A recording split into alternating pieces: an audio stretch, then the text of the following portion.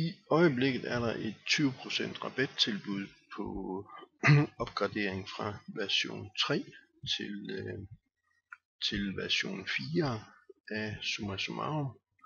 Og det kan man øh, øh, vælge at købe herinde øh, på Summa Summarum, øh, summasupport.dk herinde i min ny øh,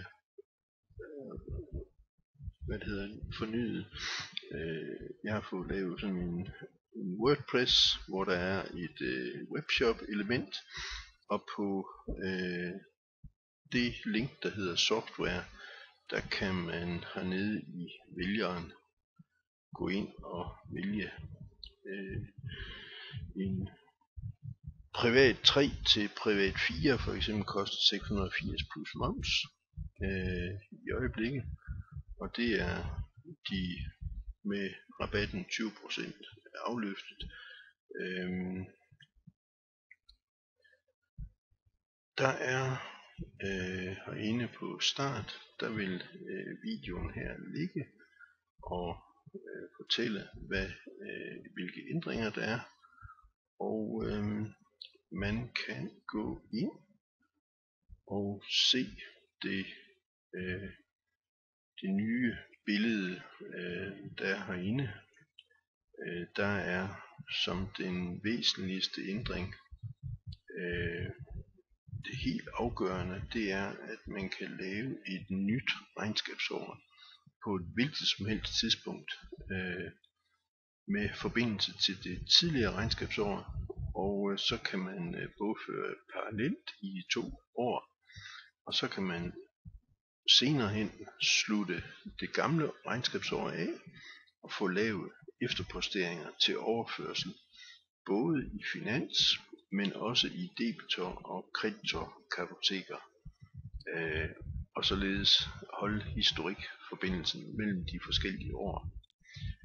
Der er en alen lang liste af ændringer.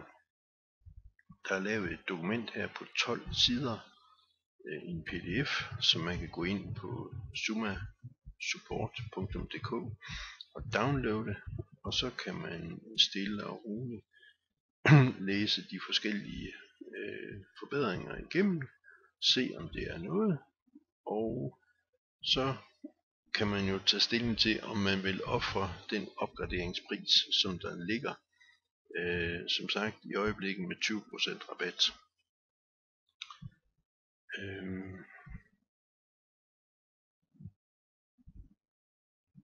der er mange forskellige. For eksempel så har man lavet en øh, forbedring af sådan noget som øh, budget.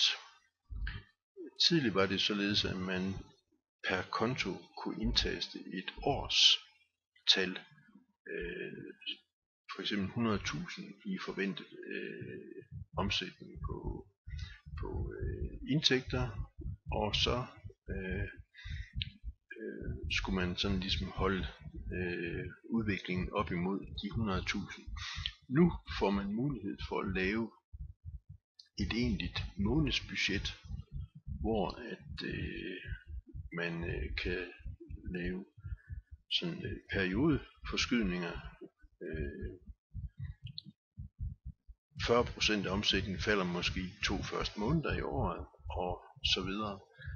Øh, det skulle gerne give nogle øh, forbedringer. Men der er drøbvis hen over hele fladen øh, ændringer, som man kan læse i det 12 sider pdf-dokument, som jeg viste før. Altså det her. Øhm, hop ind og kig og øh, så vil jeg lige vise en anden ting, jeg har lavet af nyhed herinde på øh, min hjemmeside. Jeg kommer til at lave sådan et online mødeforum, der hedder webinar aktivitet, hvor jeg en gang om dagen, øh, nogle gange tidligere om morgenen, 8-9, andre gange midt på dagen, Øh, og øh, på andre dage der er det 17 til 18, øh, der vil være åben. Og så om onsdagen, der vil jeg samle alle nystartende fra kl. 7 til kl. 8 om aftenen, hvor at øh, man øh, kan møde ind, få en times øh, gennemgang af opstartsproceduren i summa summarum, og der bliver øh, den der en times øh, opstartsvejledning, det bliver simpelthen øh, frit øh, som øh, tillæg, nu når man køber licensen ind hos mig. Øh, det kommer til at koste et øh, klippekort til support og være deltager i det her webinar. Og det at deltage på sådan en times seance, det kommer så til at koste et klip, et kvarters klip på klippekortet. Øhm, klippekorten, de kan købes på linket her, der hedder Hotline. Men øh, join ind på sumasupport.dk og se mere om aktiviteter. Tak.